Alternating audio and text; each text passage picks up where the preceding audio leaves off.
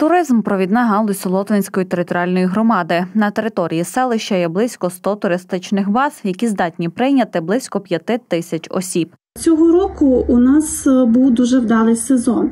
Наші бази могли прийняти до більше як 5 тисяч е, людей. Вони покращили благоустрій території на Солених озерах, заасфальтували території, заасфальтували дороги, е, збудували новий водопровід. Цьогоріч туристичний сезон у Солотвині розпочався 10 червня та за сприятливих погодних умов триватиме ще до кінця вересня. У зв'язку з ситуацією, яка склалася у нас на Україні, закриттям Чорного моря, до нас приїхало дуже багато людей віддихати. Наші бази були завантажені на всі 100%. Е, За рахунок цього у нас збільшилися надходження до бюджету. Туристичний збір і всі інші податки у нас збільшилися багато разів. Щомісячне було перевиконання від 10 до 15%. Е, Бази у нас е, на базах працюють. У нас басейни збудовані нові з соленою та прісною водою. Солена вода прирівняна до властивості води мертвого моря. Головним магнітом для туристів є солона вода. Тут є унікальні озера, які за лікувальними властивостями не поступаються мертвому морю.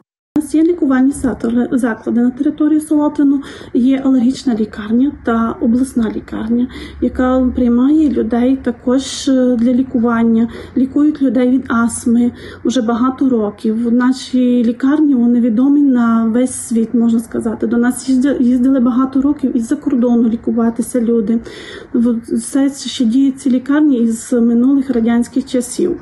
Селищна рада всіляко сприяє розвитку туризму, адже чималі надходження до бюджету йдуть саме через цю галузь. Внаслідок хорошого сезону вдалося перевиконати бюджет на 15%. Це галузь, тому що багато підприємцям, це більше як 100 підприємців, вони можуть заробляти кошти, також е, приймаючи туристів.